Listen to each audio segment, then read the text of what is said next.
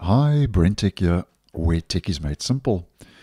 So, last year on the 2nd of October, that was the day after Microsoft started the rollout of Windows 11 24H2, I let you know in a video which will be linked that Microsoft had officially confirmed six known issues.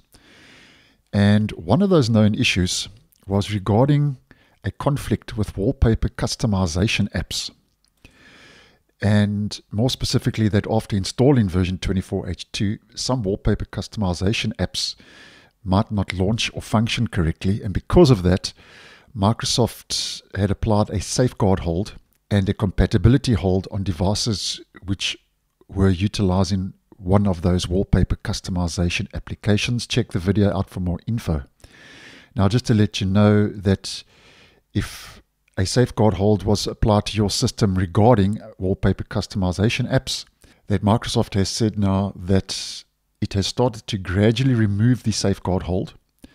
So if you try to install version 24H2 using Windows Update, the Windows 11 Installation Assistant, or the Media Creation tool, you might receive a message requesting you to uninstall your wallpaper app first and something else you can do is Microsoft recommends you can actually update your wallpaper customization app first, since a newer version might be compatible.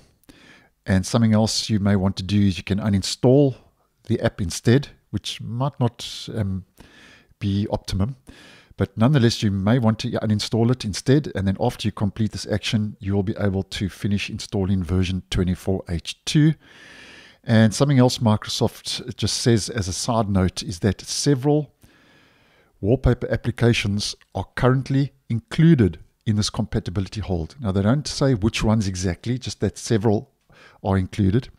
And for this reason, the specific timing of the resolution of this issue on a given device may depend on the application being used and the timing of that application's update as new versions, they say, and updates are released for these apps by their respective developers, it's expected that these issues will be resolved. So, so at least the start of the removal of the safeguard hold is now in place.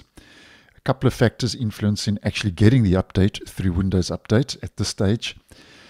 But at least it's a move in the right direction, and that's one less known issue now that's been resolved but still a couple to go with version 24H2. And I've always said on the channel, when I feel that Windows 11 24H2 is stable enough and most of the issues have finally been ironed out, I'll post a video letting you guys know. So thanks for watching and I'll see you in the next one.